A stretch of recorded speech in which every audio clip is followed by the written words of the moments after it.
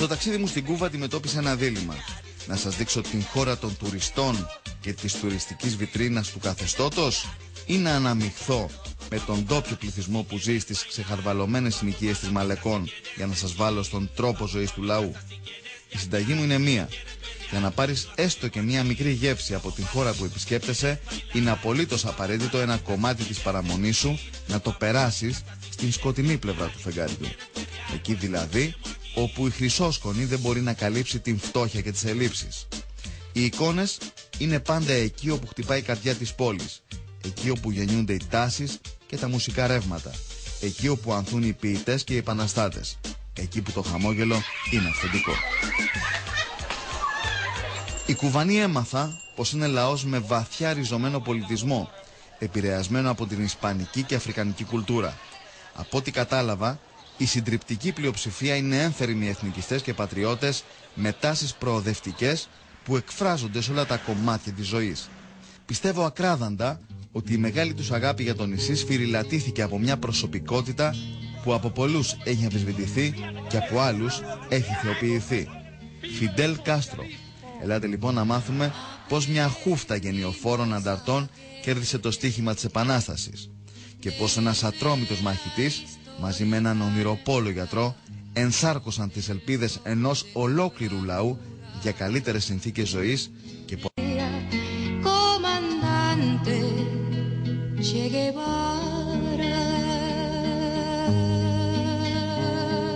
να φτιάξει τον νέο άνθρωπο.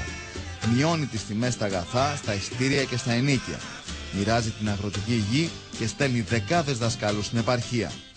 Οι Αμερικανοί καταλαβαίνουν ότι στην κυβέρνηση της Κούβας δεν έχουν πλέον έναν μετριοπαθή σοσιαλιστή όπως πίστευαν, αλλά έναν κομμουνιστή που προσπαθεί να κάνει εξαγωγή της Επανάστασης στη Λατινική Αμερική και την Αφρική, αλλά επίσης και να έχει στενές σχέσεις με την Σοβιετική Ένωση. Η Κούβα τον Απρίλιο του 1961 δέχεται την επίθεση κουβανών εξορίστων και μισθοφόρων Αμερικανών στον κόλπο των χείρων. Η εισβολή αποτυγχάνει και η πράξη αυτή ενδυναμώνει τον αντιαμερικανισμό των Κουβανών. Αν υπήρχε έστω και μια ελπίδα η Κούβα να ενταχθεί στους αδέσμευτους και ουδέτερους της γης, τώρα πια είχε εξανεμιστεί.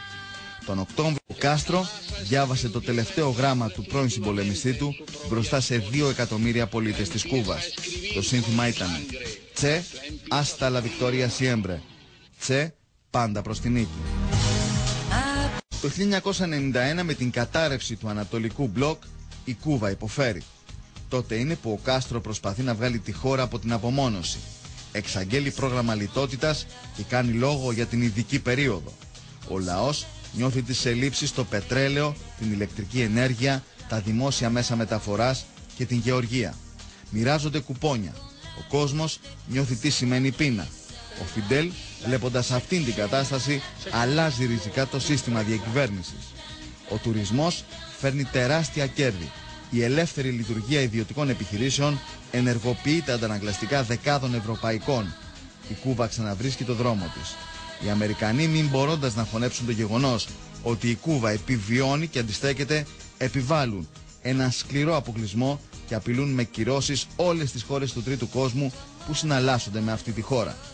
Ακόμη όμως και με αυτά τα μέτρα, ο Φιντέλ Κάστρο και οι Κουβανοί για άλλη μια φορά κερδίζουν τις εντυπώσεις στην πολιτική σκακέρα.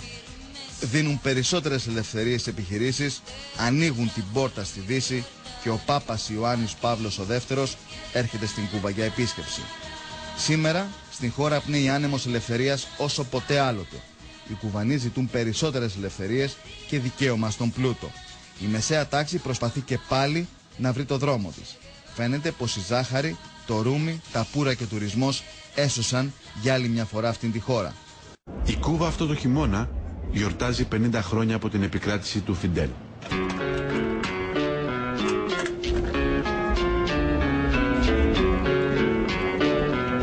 Σε όλες τις πλατείες και σε όλους τους μεγάλους δρόμους το κράτος διοργανώνει φιέστες. Μουσική, ρούμι, φιλιά, μπύρες, συνθήματα για τον Τσε, όρκη πίστη στην Επανάσταση και στο νέο ηγέτη Ραούλ Κάστρο.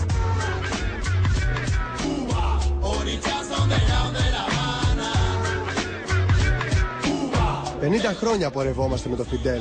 Να ζήσει η Επανάσταση, να ζήσει η Κούβα. Δεν θα φύγω ποτέ από εδώ. Αυτή η χώρα είναι πανέμορφη. Να ζήσει η κουβανική επανάσταση. Ζήτω ο Φιντέλ. Ο Φιντέλ από πολύ μικρός πάλεψε για την επανάσταση μαζί με τον Τζε. Τώρα ηγέτης μας είναι ο Ραούλ.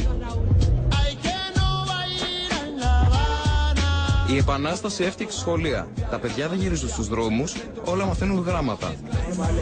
Όλα τα παιδιά τρώνε δωρεάν φαγητό στο σχολείο. Και το πρωί και το μεσημέρι.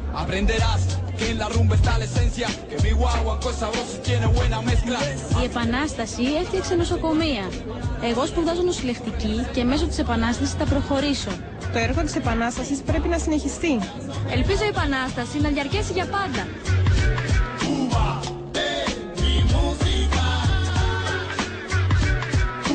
Οι νέοι δεν πρέπει να διασκεδάζουν μόνο, αλλά να υποστηρίζουν την Επανάσταση. Αν πεθάνει εδώ η Επανάσταση, θα πεθάνει και σε όλο τον κόσμο. Ζήτω ο Φιντέλ.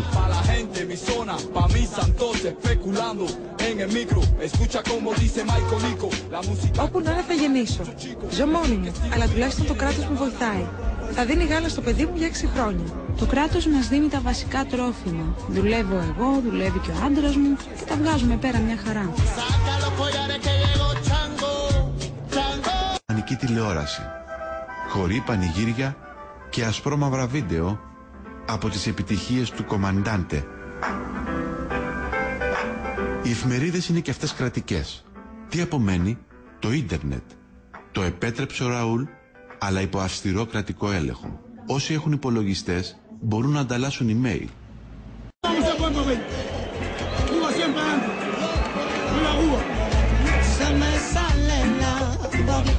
Yo no lo